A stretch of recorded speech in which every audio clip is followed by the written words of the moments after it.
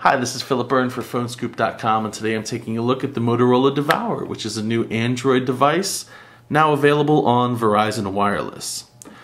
And it, it wouldn't quite be correct to say that Devour is a baby sister to the Motorola Droid. They're definitely similar. They both run Android, but the Devour has a lower screen resolution, it's a slightly different processor, and as you can see, the external design is very different than the Droid. This is sort of carved from blocks of aluminum, so you get these very sharp, clean edges here on the ridges, and it's sort of an interesting look and feel to it.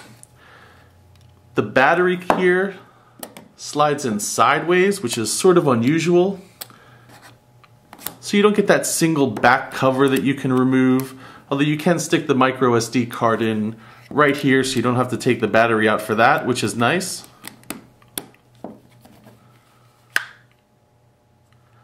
And otherwise, looking around the phone, you get the micro USB port. You get a camera button. Here you have a voice activated dialing button for voice commands, volume, 3.5 millimeter headphone jack up top. But what really sets the Motorola Devour apart is the Moto Blur interface. And Motorola has really put social networking front and center. So you get access to your Facebook, Twitter, your MySpace feeds, and the phone does a nice job of sort of organizing these all front and center. You get the Happenings widget, which tells you what everyone else is saying to the world, and you can quickly scroll through status updates here.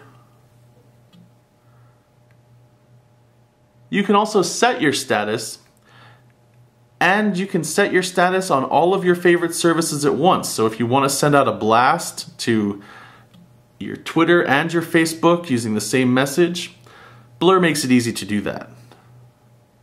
Finally, you get incoming messages here too. So any messages that you receive on Twitter and Facebook will be unified here and you can get them right on your home screen, which is nice and convenient. Finally, you also get an RSS reader which you can program with your own RSS feeds.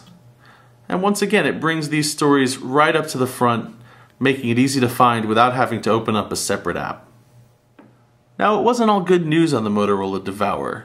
Instead of the Amazon MP3 store, you get Verizon's VCast Music Store, and the music store just didn't work very well on this phone. It just seems like the software wasn't optimized for Android, it wasn't very sensitive to the touch. Also, songs cost $1.99, which is about twice as much as you'll find on the Amazon MP3 store. So it's too bad that they went this direction. The phone still uses the standard music player for Android, and it's not the most inspiring player, but it does have some cool features. For instance, you can quickly search for an artist, an album, or a song on YouTube or on Google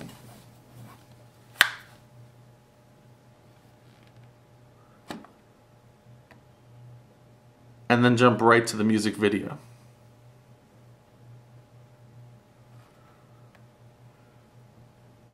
The Motorola Devour also gets the newest version of Verizon's VZ Navigator navigation service, and the new version really adds some cool new features. Besides just having a better look overall, you get some interesting location-based services like it'll show you local concerts, theater and live performances.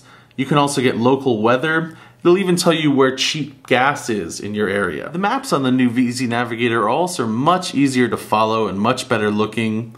They still don't perform exactly as I'd like. They don't respond to the touch and they're not the easiest to navigate through.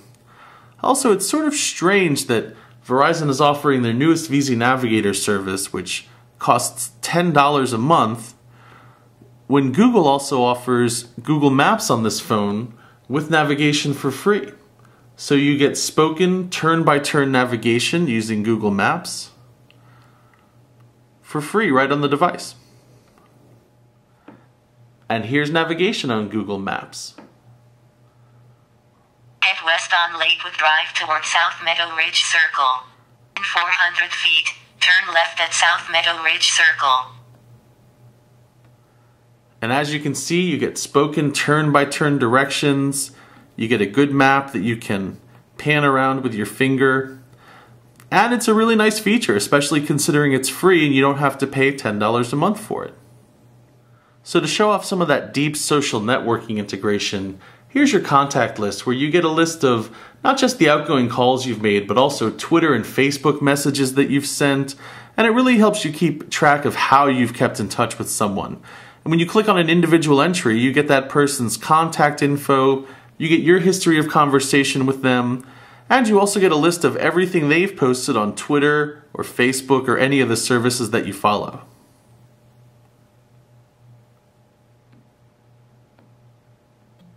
And that's the Motorola Devour for Verizon Wireless with the MotoBlur interface. For PhoneScoop.com, I'm Philip Berne.